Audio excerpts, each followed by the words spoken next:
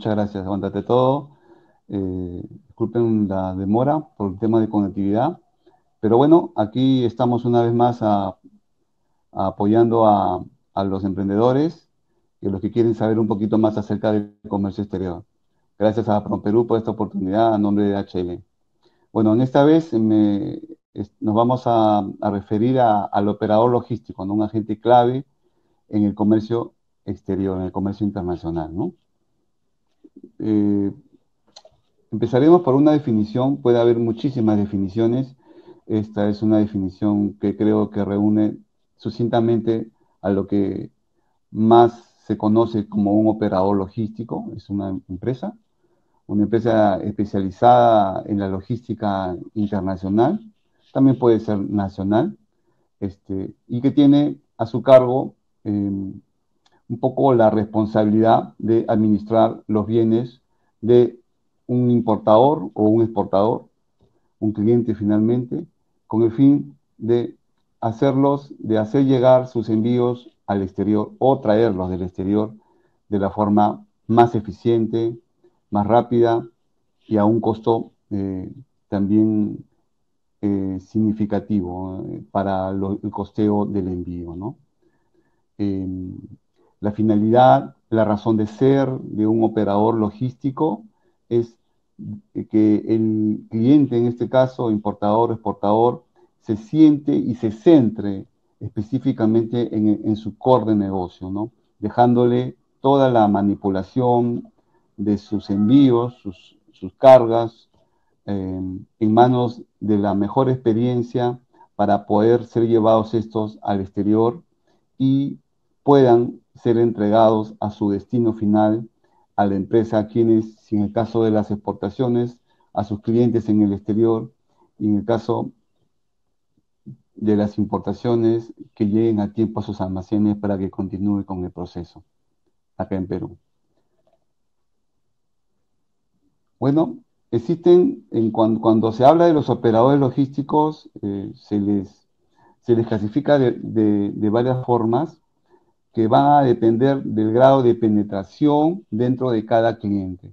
Es decir, cuantas más tareas le encarguemos al operador logístico, eh, podrá llamarse, empezará por un First PL, que solamente le encargamos hacer el transporte, todo lo demás lo siga haciendo un cliente, y conforme vayamos asignándole responsabilidades y nosotros dejándolas de hacer, encargándoselas a él, irá escalando en, en, este, en una clasificación donde puede llegar a 2PL, 3PL, 4PL, 5PL.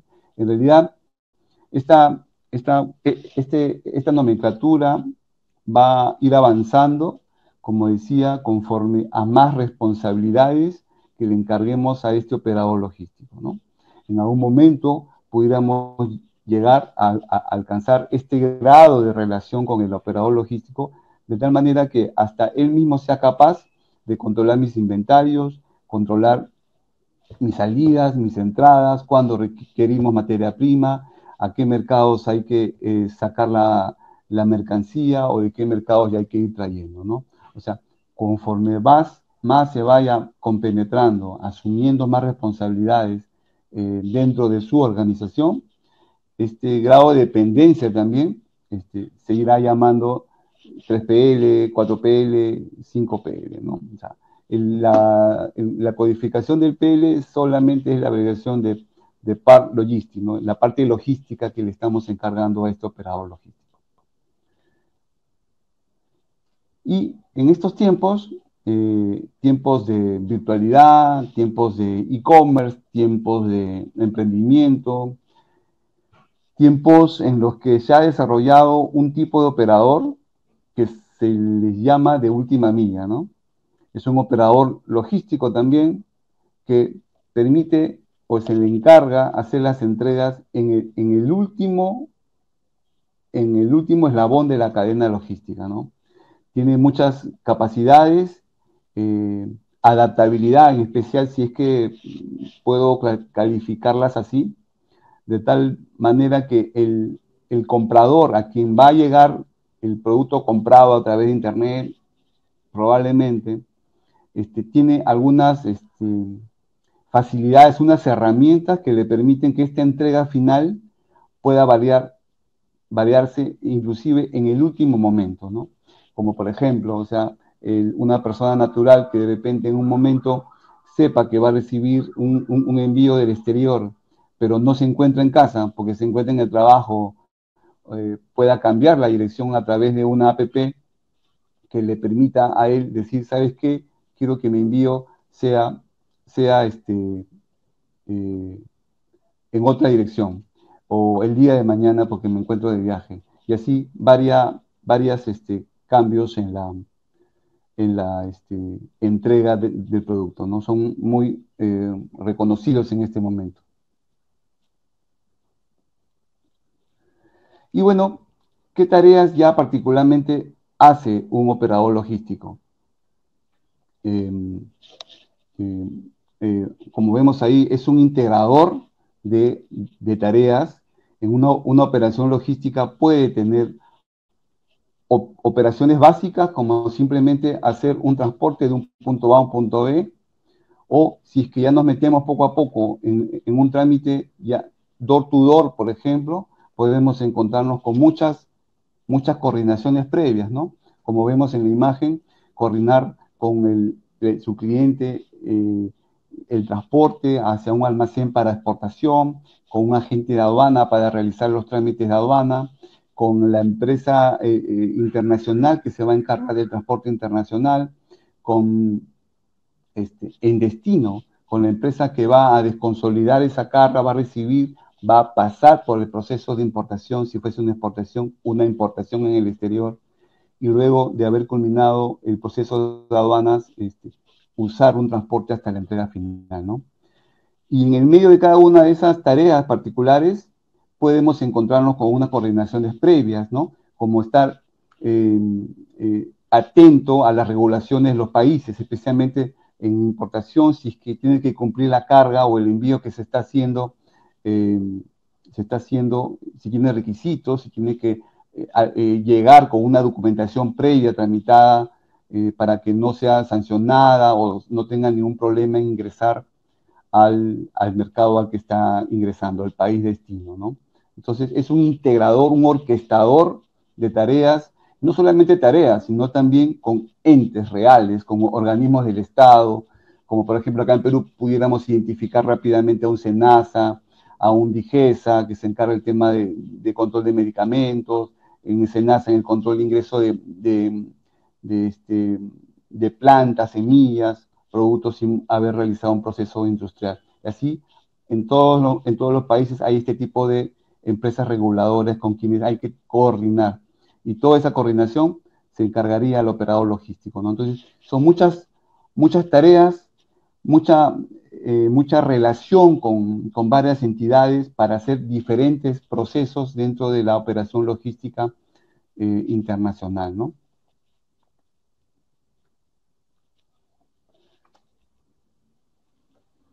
Eh, vemos este, cómo elegir al más indicado. Variables pueden haber muchas. Dejo el tema de precio para el final. Me concentraré un poco en cuáles son aquellas, aquellas, em, aquellas este, tareas en las que, en las que un, operador logístico debemos este, calificar seriamente para poder elegirlo, ¿no? Entonces, entre estas operaciones, yo podré decir podré decir que la experiencia, en, otro, en otro momento podré decir la seguridad que me da, eh, y esta seguridad yo la puedo encontrar probablemente en la experiencia que pueda tener, eh, la tecnología que use. Ahora los operadores logísticos este, pueden este, tener la tecnología a su favor para hacer el seguimiento, el rastreo, el tracking a través de la página web, a través del mismo celular, a través de mensajes de texto. Calidad del servicio, ¿no? O sea, cuando contactamos a una empresa, cuando contratamos a una empresa y nos dice, em, nos dice que sabe hacer una operación logística, pero en realidad cuando hacemos la consulta vamos notando que en realidad lo que está haciendo es simplemente eh, en ese momento informándose, eh, acopiando información y tiene un, un, retraso en el tiempo de respuesta a su consulta, bueno, podamos ir viendo, podamos ir calificando de que esta operación, de que esta operación este, no, no está alcanzando a ser de buena calidad, ¿no? Porque una operación, una operación este, logística, perdón, se había acabado la cámara, este, una operación logística tiene que tener detrás a una empresa que tenga experiencia. Yo consideraría una, si no es la más importante. Inclusive hasta pudiera prescindir de la tecnología, pero en una operación logística, y los que estamos en logística durante muchos años sabemos que un día a día es diferente en logística. El día de ayer, por más que atienda la misma operación del mismo cliente, siempre pasa algo diferente. Entonces, y, esta experiencia del, del, operador logístico es, lo que, es la que determina que esa operación continúe en cuanto a velocidad, a destrabar una información que de repente una, una aduana en destino nos ha pedido, eh, alcanzar un documento con la velocidad que se requiere, o tener el personal calificado, sea en el país exportador como en el país destino, para poder solucionar un problema, ¿no? Entonces, eh, nos podemos encontrar con empresas que se dicen operadores logísticos, pero en realidad atrás de ellos no hay nada, ¿no? O sea, son simplemente personas que han podido poner su empresa eh, y hacer una página web ahora que es muy sencillo y este, llamarse operadores logísticos. Y cuando reciben un poco el requerimiento de, de los clientes, los que quieren usar el servicio, podemos notarlo muy rápidamente. El tiempo de respuesta es muy laxo, porque no saben, no tienen experiencia, tienen que regresar hacia otras empresas que están atrás de ellos a repreguntar. Ante un incidente, sea ocasionado voluntaria o involuntariamente, no tienen un tiempo de respuesta que permita que la operación continúe, sea en el territorio nacional en Perú o en el exterior. Eso es muy importante, porque si acá en Perú no tienen una empresa que respalde ese conocimiento, imagínense si la va a tener en el exterior.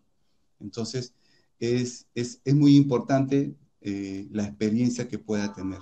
Y esta experiencia y esta capacidad y, esta, este campo de acción que es muy importante en una, en una operación logística, eh, creo que la podemos encontrar en las páginas web, ¿no? Cuando hay eh, comentarios de clientes que reciben el servicio de este operador logístico, eh, comentarios buenos, algunos comentarios también, algunos operadores también se atreven a, poner comentarios de sus clientes reales, inclusive no hablando tan bien de la operación, ¿no? Porque tampoco hay que ser perfectos. Lo que sí hay que ser, como repito, es tener una muñeca, un conocimiento, un bagaje, una experiencia y una capacidad en el tiempo de respuesta. Es eso lo que se valora en un operador logístico, ¿no?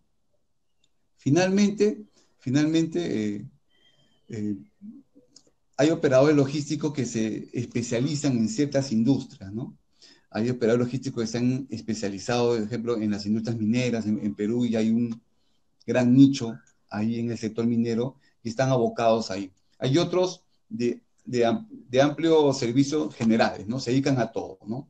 Entonces, este, creo que en el mercado peruano podemos encontrar eh, una gran paleta de operadores logísticos buenos,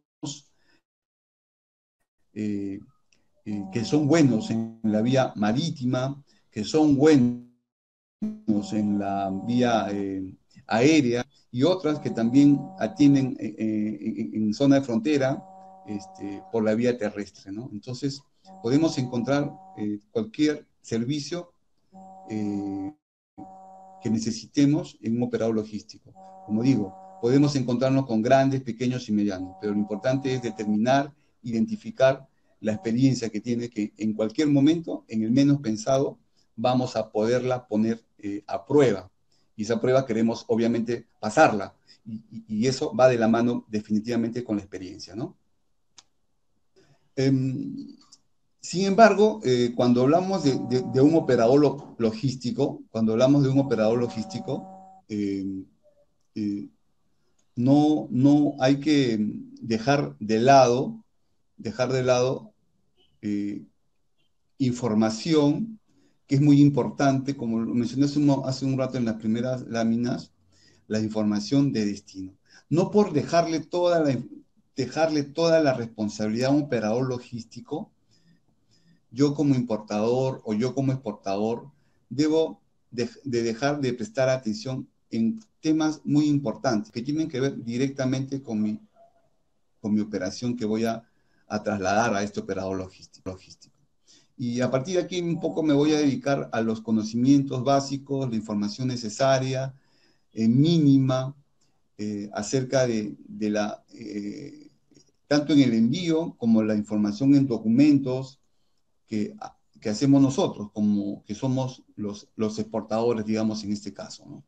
Entonces, es muy importante para una exportación saber a dónde vamos a exportar, porque hasta aquí de repente nuestro tiempo ha estado dedicado a conseguir un cliente, de repente enviarle una muestra, de repente ya le gustó la muestra y quiere ahora que le enviemos una primera, una primera este, compra, ¿no? Ya una cantidad más importante, de, más valor, ya más trabajada, porque es nuestra primera venta, ¿no? Entonces, eh, es importante, obviamente, saber a dónde lo vamos a mandar, pero es muy, muy importante saber si en el país de destino tienen algunas restricciones, ¿no? No, no todas las mercancías eh, eh, en todos los países este, tienen las mismas reglas de ingreso. En algunos países son más estrictas, en otros países una mercancía puede ser restringida, que quiere decir que con un trámite pueda ser autorizada para ingreso al país. Otras mercancías pudieran estar prohibidas, así que ahí de ninguna manera una mercancía pudiera ingresar. Y esas, esa información es muy importante, ¿no? Porque yo me ya comprometo a, hacer el envío a, un cliente potencial que he conseguido en un país y, después de haber cerrado la venta, me puedo chocar con esta información. Entonces, esta información tengo que saberla antes, ¿no? Y va de la mano mucho con nuestra gestión comercial en cada una de las empresas eh, con la que queramos hacer negocios, ¿no? Eh, saber qué restricciones hay en el exterior, saber qué restricciones hay en el país de mi cliente o de mi potencial cliente, o inclusive, hablando de restricciones y prohibiciones, determinar. ¿Qué regiones o qué zonas en el mundo están exentas de estas restricciones, exentas de estas prohibiciones, y ahí de repente, con mayor seguridad, poder encontrar nichos de, mercado este, a donde enviar nuestras cargas, ¿no?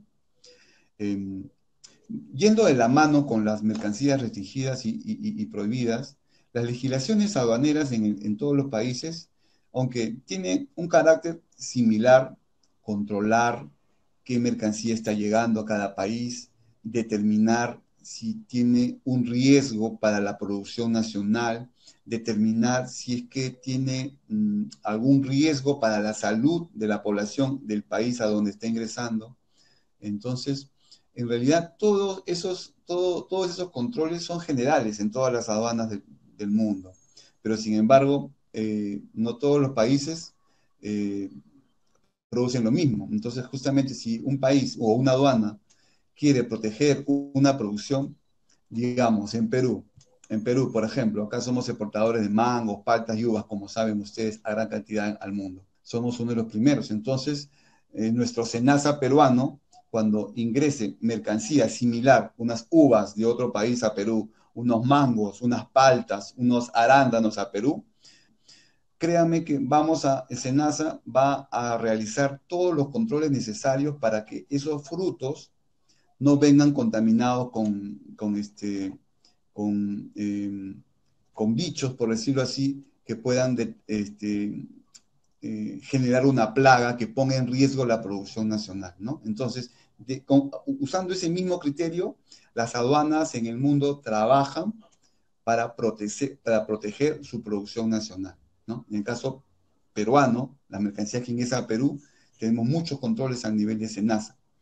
Eh, acá en Perú también conocen a una dirección que se llama la Dirección General de Salud y Alimentos, este, Salud, Digesa, que controle el ingreso de medicamentos, porque tiene una, un objetivo de controlar la salud de, de su población, ¿no? Entonces, ingresan medicamentos en mal estado, vencidos, prohibidos, este, con, con, con este, ingredientes eh, que ponen en riesgo la salud de las personas, créanme que Digesa va a estar ahí para hacer los controles repetidos.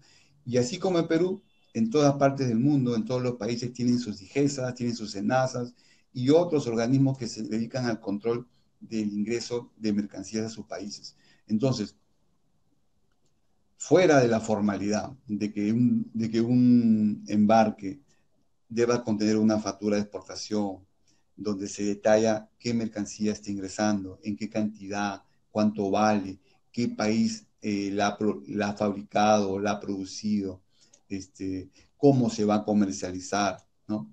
Este, si, este, si es una mercancía, por ejemplo, una mercancía este, de, de, origen vegetal, si estamos exportando uvas, un, fruto fresco, si es que en, en, origen el país de Perú, por ejemplo, que es el exportador, ha cumplido con todo el proceso de sanidad, de tal manera que llegando allá al país destino pueda tener la seguridad de que ese producto está bien controlado y no va a, y no va a ser correr ningún riesgo a la población en el destino. ¿no? Entonces, certificado de origen también es muy importante porque nos va a permitir acogernos a un posible TLC en el país de destino. Muchas veces, eh, cuando ponemos, y eso lo hablamos muy, muchas veces con los clientes exportadores, con los que se están iniciando en este tema de hacer sus manufacturas, sus textiles, sus polos, sus aplicaciones, zapatillas que, que tienen una gran demanda en el mercado internacional. Ponen el precio, el cliente compra, pero cuando su mercancía llega a destino, tiene que pasar por un proceso de aduanas, de controles, como lo acabamos de explicar, pero también tiene que pagar impuestos, ¿no? Entonces, ¿qué mejor si estamos enterados de los beneficios de un posible TLC con ese país y el Perú? Y con un certificado de origen pudiéramos, pudiéramos este, descontarlo o hasta inclusive eliminarlo, ¿no? Entonces, es muy importante saber previamente, previamente, este, qué mercado es, me da esas facilidades, con qué país tengo TLC, con qué país yo puedo aplicar un certificado de origen, cuánto puedo descontar de los impuestos de aduana, porque finalmente lo que el comprador de ustedes va a ver es que le va a pagar a ustedes el valor del envío, le podría pagar el valor del transporte también, pero con lo que es un poco complicado este, manejar es que también asuma los impuestos de aduana en su país, que aunque sabe que existen, saben que es lo, es lo que sucede normalmente cuando una mercancía entra a un país, paga impuestos. Lo que, lo que sería recomendable es que ustedes como vendedores se enteren de con, qué países pueden aplicar un, este, un, TLC a través de un certificado de origen. Con qué países, eh, por ejemplo, en el envío courier, les comento un poco entre paréntesis, en el, en el servicio courier, por ejemplo, Estados Unidos todos los envíos enviados a Estados Unidos hasta un valor de 800 dólares no pagan impuestos. Australia, por ejemplo, hasta un valor de 1000 dólares no pagan impuestos. Entonces, sus clientes eh, que están en esos dos países, por tomar un ejemplo, al comprarles a ustedes, solamente van a pagar lo que le pagaron ustedes por el, valor de la mercancía que ustedes están vendiendo y el transporte internacional hasta ese destino. Porque por los impuestos de aduana no existen sin hacer ningún trámite, sin usar certificado de origen inclusive, ¿no? Ahora, cuando ya el valor supere estos importes, con un certificado de origen, también pudiéramos eh, eliminarlos o descontarlos, ¿no? Y creo que todo eso va sumando, va sumando conocimiento a su operación, va sumando experiencia a su, a su operación comercial con sus clientes. Y es muy importante que esa información que va a fluir a través de su operador logístico, este, la vaya un poco canalizando y, un poco, este, como diría yo, este, aprendiendo a usar y enfocarla en su política comercial, ¿no? entonces, de esa forma vamos viendo cómo eh, la experiencia de un operador logístico va siendo trasladada a ustedes.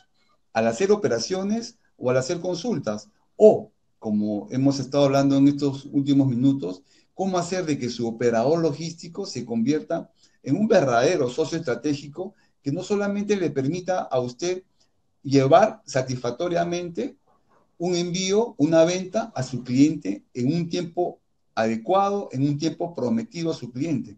No solamente eso, sino que con esa experiencia de análisis de mercado, de, eh, límites en cuanto a los, al pago de impuestos, eh, puede usted usar esa herramienta para un tema comercial y hacer, eh, hacer incrementar sus ventas, ¿no? Entonces, hay que verlo así, hay que verlo así hay que usar así la experiencia de un operador logístico que va a continuar haciendo la operación como ustedes se la encarguen, como ustedes la necesiten. Pero ese bagaje, esa experiencia, tiene que ir poco a poco siendo trasladada a la operación, que obviamente, y digo comercial porque es ahí donde empieza todo, ¿no? O sea, en, la venta, cuando se consigue un, negocio, ¿no? Em, em, bueno, esos, e, e, esos tres puntos son, eran muy importantes, saberlos, y toda esta información la podemos recoger del operador logístico en cualquier nivel en el que nos encontremos, ya sea FISPL, 2PL, 3PL, 4PL. ¿no?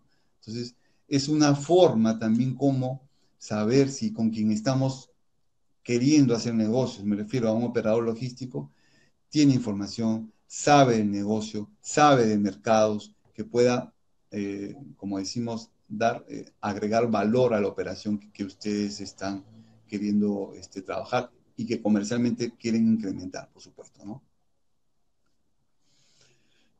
Bien, así como hay conocimiento importante que existe en una operación logística, eh, en cuanto a información, en cuanto a información previa, es muy importante también saber cómo es que debemos eh, preparar nuestros envíos. Nuestras bolsas, cajas, paletas, eh, cualquier embalaje en el que podamos contener a nuestro, a, nuestro, a nuestro envío, es muy importante saber que el envío, cuando ustedes se lo entregan a un operador logístico, este, tal cual por más delicado que pueda ser recibido, de repente unos envíos pequeños pueden ser recibidos, entregados al operador logístico en la mano del, despachador o del courier que baja el transporte a recoger el envío, pero de la misma forma no son transportados. No hay una persona que esté llevándolo como un bebé a su envío hasta en la entrega final. Entonces, hay muchos factores que intervienen eh, en esta operación logística, principalmente el transporte no solamente el transporte internacional, sino el transporte, el transporte este, local, internacional y el transporte local en destino. Entonces, aquí eh, reflejamos algunas cuatro ideas, ¿no? Donde decimos que la carga sufre mucho movimiento, sí, porque desde que usted nos entrega, ya la carga la vamos moviendo la recibió una persona o de repente la levantamos en un pallet, la subimos a un transporte, este transporte lo está llevando a un almacén de exportación, se baja, se lleva a un sitio que espere la culminación del proceso de exportación. Eh, si es que en, ese proceso de exportación la aduana de origen determina hacer un aforo físico, o sea, abrir el paquete, revisar, ver si contiene algo prohibido, o si está de acuerdo con la factura de exportación. Eh, tiene mucha manipulación. Se cierra otra vez, se vuelve al lugar donde estaba para que culmine el proceso de exportación. Llegado el momento de exportación, ya suba al avión o suba al, contenedor o, suba al barco. Entonces, existe mucho, mucha manipulación, mucho movimiento, por lo cual es muy importante que sus envíos estén bien embalados bien embalados. Eh, por ejemplo, y, para eso, y para eso hay que determinar tema de peso, peso volumen, si el embalaje final es una caja, es una bolsa, es una caja de madera, si es que se paletiza, ¿no? Son, muchos factores lo que determina qué embalaje es el más adecuado para, para eh, embalar nuestro envío. Eh, siempre me dicen cuando hablamos de este tema, sí, José, pero este, cuando, si yo le pusiera un embalaje de madera, por ejemplo, eh, sería perfecto, ¿no? Este, pero eso aumenta el peso. Pero aquí hay que determinar ciertos riesgos, ¿no? Y lo veremos también más en la última slide, cuando hablemos de seguro. Pero aquí hay que evaluar ciertos riesgos, ¿no? O sea, el, el, pagar un flete mayor porque le puse una caja de madera en lugar de una caja de cartón, o ver que su envío, por más buena intención que el operador logístico recomiende su traslado, llegue en, mal estado. De nada vale todo el esfuerzo que usted le ha puesto en conseguir una venta, en llevarlo este, de la mejor forma, si es que allá no va a llegar en buen estado. Al contrario, eh, si es una primera vez, va a recibir que esa primera vez sea una mala experiencia para su cliente. Y, lo que, y como estarán de acuerdo conmigo, lo que más queremos es que esa primera experiencia sea una experiencia exitosa, que nos permita que, nos permita, eh, que su cliente haga una recompra y que nos haga eh, caja de resonancia para que otros clientes como él de mismo perfil nos compren, ¿no? Entonces, eh, hay que pensar en el embalaje, hay que darle un espacio a pensar qué embalaje es el más adecuado, cuánto tiempo internacional, hasta dónde me voy a ir. No es lo mismo irnos a Estados Unidos que irnos a Asia, ¿no? a, Australia, donde los, no solamente que, eh, no solamente pensar que es más lejos, el tránsito es más largo, sino que así sea aéreo, este, no, hay, no hay vuelos generalmente, hablando de una operación logística, eh, que sean vuelos directos. Siempre, por lo general, son vuelos con escalas. Y esos vuelos con escalas, ¿qué es lo que hacen? Cada vez que llega una, a una escala, el avión se detiene, por ejemplo, hablando del aéreo, baja la carga, está en un almacén, de repente hasta sube a un transporte, llevarlo a otro almacén, hasta tome otro avión y así sucesivamente. Eh, en, el tema marítimo tampoco nos escapamos. Una carga suelta es, es consolidada en un contenedor, transportada. También hay, hay, hay este, naves que hacen escalas en puertos y sucede el mismo, el, mismo manipulaje este, que puede determinar en cualquiera de esas situaciones que como están todos con la velocidad, están todos con la presión, cierra el vuelo, cierra la nave, todo se hace a extrema velocidad. Y en ese intento de velocidad pueden este, no tomar el cuidado eh, necesario con sus, con sus cargas. ¿no? Entonces, la precaución inicial es que estén bien embaladas. Y hablando del embalaje, eh, de alguna manera, continuando, entonces hay que tomar en cuenta qué tipo de mercancía es la que estamos este, exportando. ¿no? Ustedes saben mejor que nadie cuánto pesa, cuánto mide sus envíos y de acuerdo a ello determinar qué embalaje es el más adecuado. Los embalajes pueden clasificarse de muchos tipos, ¿no? O sea, frágiles, sobredimensionados o pequeños, pero bien, bien identificados, ¿no? O sea, vemos ahí algunos ejemplos, pero lo más importante, por ejemplo, sería determinar de acuerdo al peso, de acuerdo al tipo, qué embalaje interior, porque no solamente hay que pensar en el embalaje exterior, que es el que es el que va a resistir los golpes con otros envíos, con otras cajas, el que va a estar pegado al contenedor, eh, el que va a estar en el piso del contenedor, el que va a estar en el piso del avión, el que va a estar en el contenedor aéreo, ¿no? Sino también hay que pensar que durante ese movimiento, internamente, nuestro envío también se puede estar moviendo, ¿no? Si enviamos botellas, por ejemplo, si exportamos algún tipo de licor, pisco, por tomar un ejemplo, siempre la recomendación es que internamente los frascos o vidrio, en este caso botellas, siempre estén, no estén chocando botella con botella, internamente deben estar forrados con plástico, con papel, y que estas botellas previamente forradas tampoco choquen con algunas de las seis, los seis lados de la caja. De preferencia que los lados internamente de, una caja estén forrados también con, con un lopillo, ¿no? Entonces, hay que pensar muy bien en, el embalaje interior. Y otro tema muy importante que grafica ahí la, tercera imagen, la caja, es la identificación.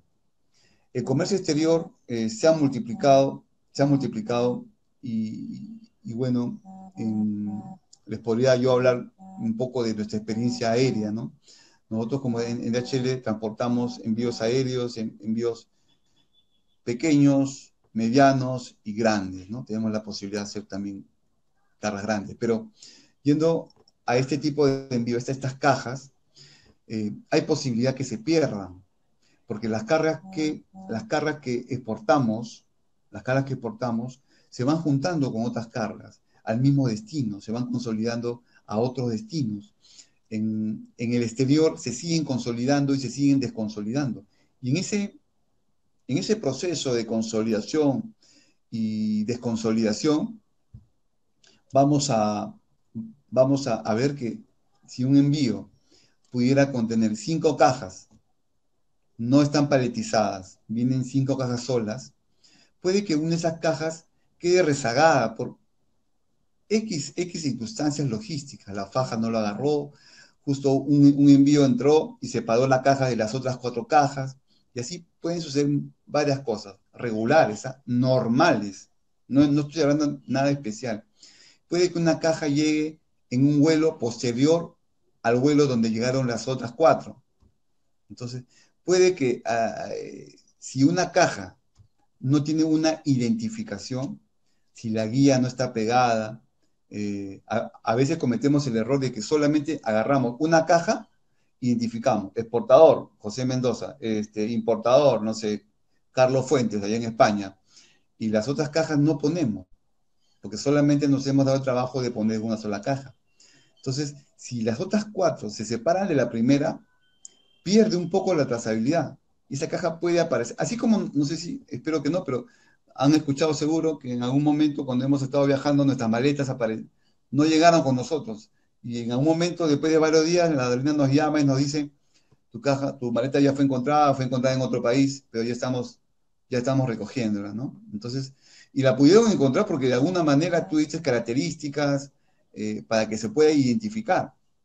Este, de, la misma forma, nuestras cargas son como pequeños pasajeros que van juntas, se van separando este, por todo el mundo y en algún momento una caja no identificada pueda estar, quedar rezagada en un almacén, en un aeropuerto, porque como no tiene ninguna identificación, por más que la veamos, no sabemos, no sabemos de quién es y qué hacer con esa caja. ¿no? Por eso esa imagen esa imagen de la identificación es muy importante, saber quién es el exportador, a dónde va, qué número de guía o BL contiene, qué contiene. Es, muy importante qué contiene, si es que esta mercancía es peligrosa o no, ¿no? Eh, eh, también este, informar e, e, ese detalle en, en, cada caja nos va a salvar de muchas situaciones logísticas en las que una caja pudiera quedar rezagada o en el peor de los casos perdida, ¿no? Eh, las preguntas las, respondemos al final, ¿les parece? Ya voy a acabar con la, con la presentación y me digo full las preguntas. esta es la última, el slide, y es un, es un tema que, es un, que tiene que ver con nuestra idiosincrasia, ¿no? O sea, cuando hablamos de seguro personal médico para nosotros, muchos, muchos este, nos dicen, no, nunca va a pasar nada, o no, o no lo usamos, no, no, o no cobramos, este, no tenemos este, real este, este, raciocinio sobre el tema de aplicar a un seguro. Y lo mismo sucede con las cargas de exportación, las cargas de importación en el comercio exterior. Eh, yo noto mucho, por ejemplo, que cargas europeas siempre van aseguradas y las de latinoamericana casi, casi nunca. Entonces, y cuando sucede algo, cuando sucede algo, y pueden suceder muchas cosas, les puedo decir, algo ya les comenté, que pueden quedar rezagadas, perdidas, este, pues nos podemos eh, meter en un gran problema, ¿no? Porque podamos haber realizado, si es una importación, podamos haber realizado una compra a un proveedor eh, que nos demandó una fuerte salida de dinero. La carga, en esas manipulaciones, la carga se cayó de un, de un montacarga, se cayó de un contenedor y la carga pudiera haber quedado bien intacta, pero puede también haberse dañado, puede también haberse malogrado, ¿no? Y acá hablo de cualquier tipo de carga, puede ser un equipo, unos repuestos, una mercancía este, eh, sensible, ¿no? O sea, eh, una mercancía fresca inclusive, ¿no? Entonces, este, es importante tomar conciencia de que en lo posible asegurar las cargas. Vamos a dormir tranquilos.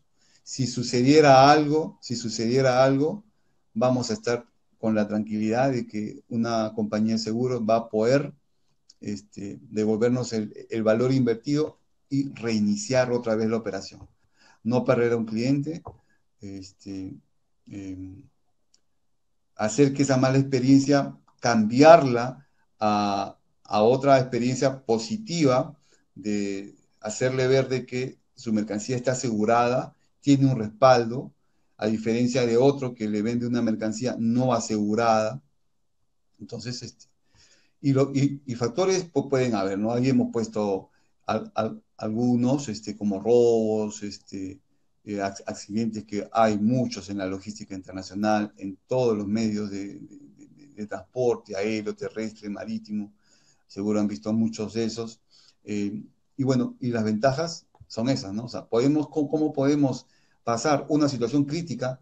Porque eh, mi operador logístico o algunos de la cadena este, manipuló mal y al ser tu operación asegurada, puedes dormir tranquilo porque está asegurada, tienes un tiempo de respuesta con una compañía de seguro, tienes este, la posibilidad de retomar tu operación con tu cliente. ¿no? O sea, a diferencia de una mercancía no asegurada, podrás, podrás tú reclamarle al operador logístico porque debió estar más atento, eh, no es culpa, es culpa de ellos el haber manipulado mal pero el proceso se va a alargar hasta determinar todas las responsabilidades, créeme que se puede alargar mucho.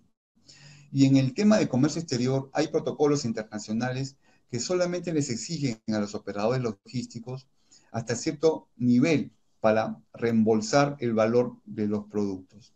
Y este, este, este reembolso no tiene mucho que ver con el valor, tiene que ver más que todo con el peso.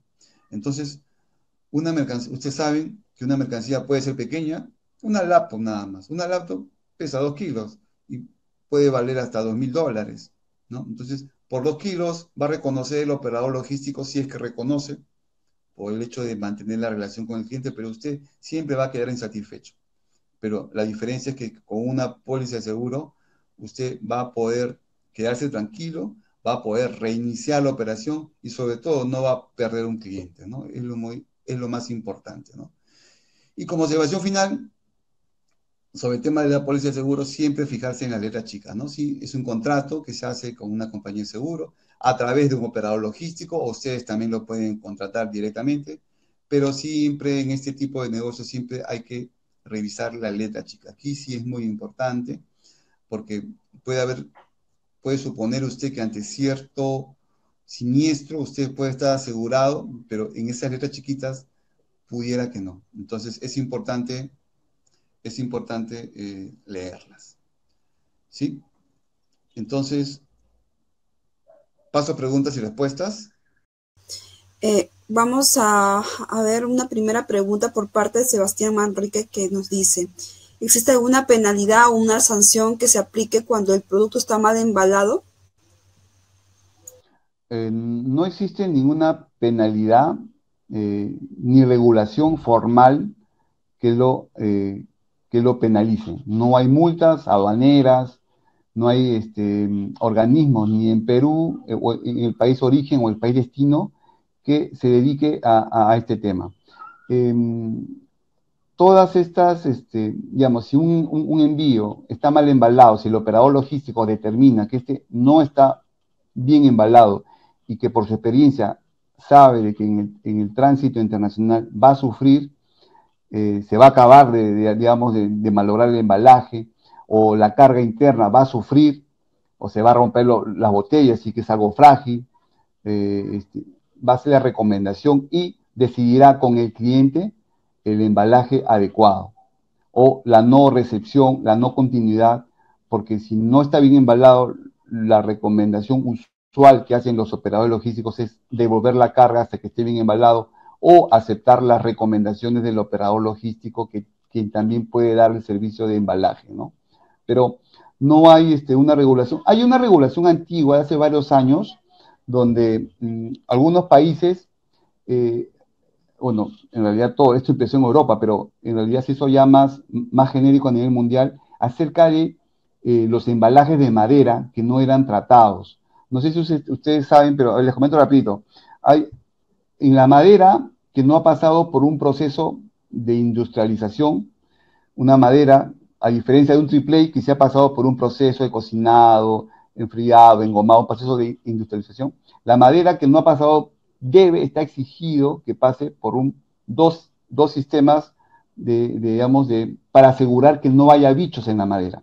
Uno es un, es un sistema a través de un tratamiento térmico, lo ponen a un horno y ahí está un tiempo necesario para asegurar que no haya ni un bicho. Luego la empresa que dado ese servicio otorga un certificado que esta madera ha sido tratada y que no contiene. Y le pone un sello, un sello en la madera, en cada pieza de madera, con lo cual usted va a hacer, usted el operador logístico va a hacer el embalaje. El otro sistema es a través de, le echan un químico a la madera remojado durante un tiempo y también finalmente, acabado el proceso, le ponen un sello que ha pasado por tal tratamiento químico y está exenta de bichos, ¿no? Entonces, los países han empezado hace muchos años ya a regular. Si un envío embalado con madera, esta madera no contiene ese sello asegurando, este, pueda, pueda, pueda ser separada porque se pudiera presumir de que esa madera del embalaje pudiera contener un bicho, ¿no? Entonces, esa pudiera ser una, no es una multa, pero sí es una, una regulación que se da en todos los países, ¿no? Ya de manera general. Pero no hay multas en realidad este, per se, ¿no?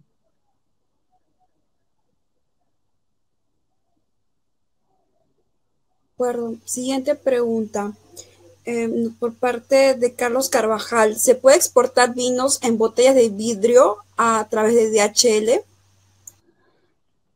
Bueno, eh, sí, eh, de hecho que lo hacemos, ahí el embalaje tiene que ser bastante, como lo explicaba hace un momento, botellas individualizadas, forradas, dentro de una caja previamente forrada con un lopillo, donde las botellas no choquen con, los seis lados de la caja y entre sí, eh, y embaladas en una caja de madera, con madera tratada. Este, y ahí principalmente sí, transportamos frecuentemente eso, hay lo importante es saber a qué destinos van para poder ver los requisitos, ¿no? De nada vale que una mercancía la podamos recoger, transportar, llevar, llegar a destino y el destino pueda necesitar requisitos, ¿no? Entonces es importante saber los requisitos en destino, ¿no?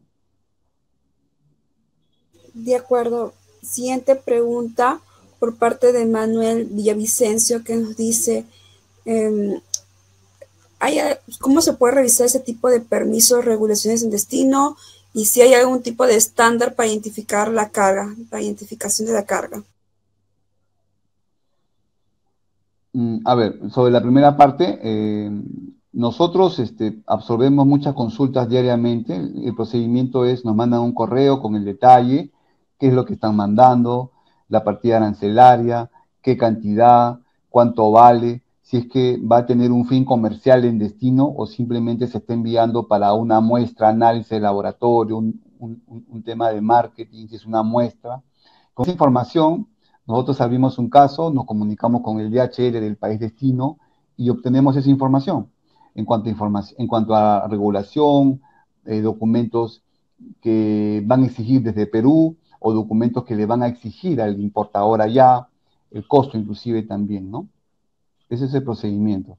Ahora, eh, ¿cómo identificamos? Es una pregunta, mm, mm, de repente me pudiera aclarar, pero eh, ¿cómo identificamos los bultos? O si es que la pregunta va por qué tipo de embalaje corresponde a cada bulto, es una, es un, cada, cada tipo de, carga tiene su propia, su propia este, eh, recomendación para, para embalar. En DHL hemos desarrollado una guía de embalaje que pudiera eh, atender a esa, consulta, ¿no? Pero principalmente lo va, a determinar si es frágil, si es una mercancía perecible, si es una mercancía pesada. Creo que esos tres factores determinan si se pone, si es pesada en una caja de madera, probablemente en un pallet, si es una mercancía fresca, de repente con gel pack, y si es una mercancía frágil, bien, bien embalada internamente y en caja de madera, ¿no?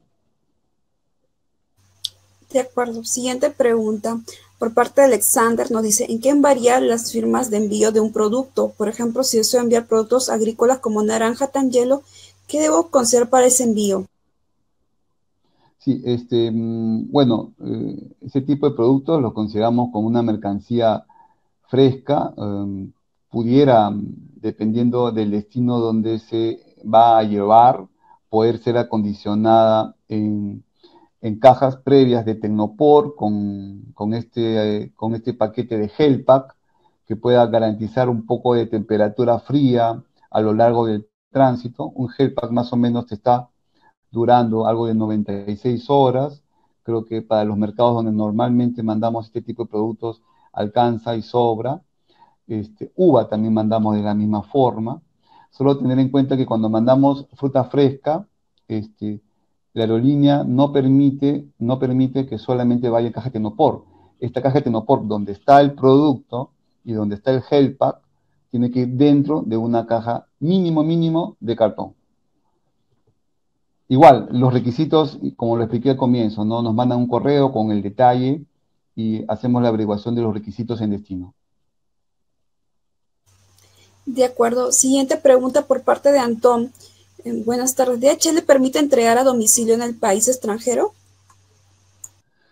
Bueno, hablando de DHL, es un servicio puerta a puerta. O sea, si es que nos referimos a una exportación, desde el momento que recogemos, hacemos todo el trámite hasta la entrega a la dirección que ustedes nos han indicado en la guía aérea, pasando por los trámites de Perú, exportación, el transporte internacional, los trámites de aduana, si usted o el importador nos lo asignan. Sí, continuamos con una siguiente pregunta eh, por parte de Antón que nos dice eh, qué tiempo demora en llegar al domicilio de un cliente en México desde Huancayo. Es para un envío de 1 a 2 kilogramos.